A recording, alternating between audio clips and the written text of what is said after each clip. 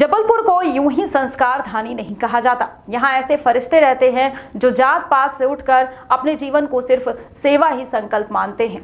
जहाँ हिंदू मुस्लिम से ऊपर उठकर गरीब नवाज़ कमेटी के इनायत अली वर्षों से ऐसे गरीब परिवारों की मदद करते आ रहे हैं, जिनके पास सब के कफन और दफन का इंतज़ाम नहीं होता।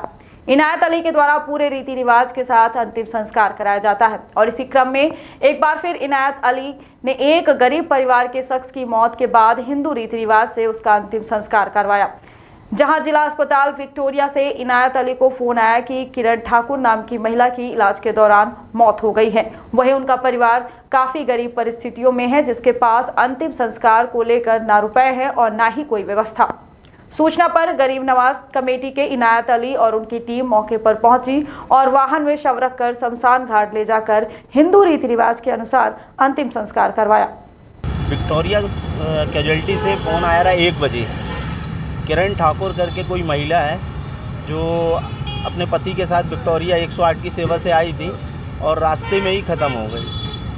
अब उनके पास ना बॉडी ले जाने की व्यवस्था है, ना ही अंतिम संस्कार कराने की व्यवस्था है। उन्होंने बोर्ड देख के हमारा हम लोगों को बुलाया है। तो राईकाल मुक्तिधाम में किरण ठाकुर का अंतिम संस्कार उनके पति के द्वारा कराया जाएगा। गरीब नवाज़ कमेटी सैयद इनायत अली। रामलाल ठाकुर। रामलाल ठाकुर। क्या हो गया? कौन है आपकी? बीवी है। किरण ठाकुर। इनको अटैक आया एंबुलेंस को फ़ोन किए। दो घंटा बाद आया। थोड़ी थोड़ी सांस चलती थी। ला, लात के लाए आधे रास्ते में ख़त्म हो गई।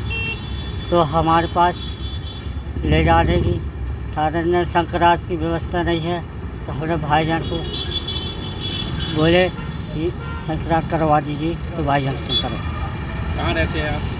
पूर्वा। आपका नाम? रामलाल ठाकुर।